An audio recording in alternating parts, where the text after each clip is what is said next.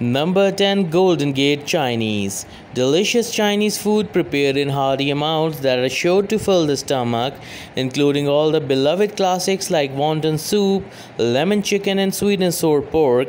Prices are really affordable, and there is virtually always a promotion running. Number 9 Crown and Sword.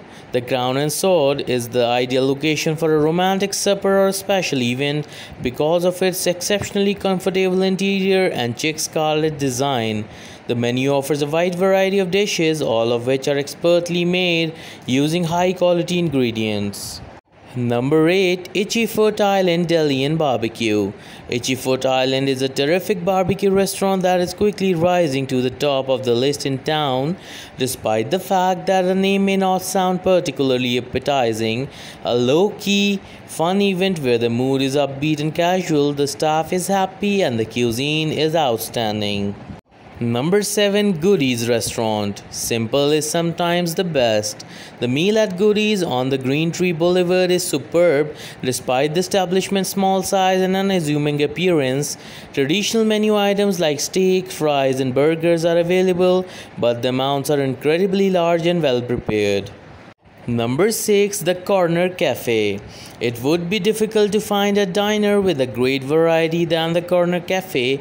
There is a fantastic breakfast buffet with a variety of egg pancake and pancake entries, as well as a substantial lunch menu. Number 5 Ala Al Deen. A hidden jewel in the Californian desert is Al Deen. The Al Deen is a glistening combination of Mediterranean and Middle Eastern cuisines and a delectable substitute to the eateries and burger joints that are plentiful throughout the state. The menu features a variety of foods that are bursting with exotic flavors like hummus, dolma, and kibbeh. Number 4 Paulina's Mexican Grill.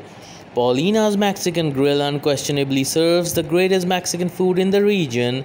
Enchiladas, tacos, seafood, steak, and hog meals are all available on the large menu. Along with a weekend special, the dining area is large, elegant, and available for lunch and dinner seven days a week. Number 3 Molly Brown's Country Cafe.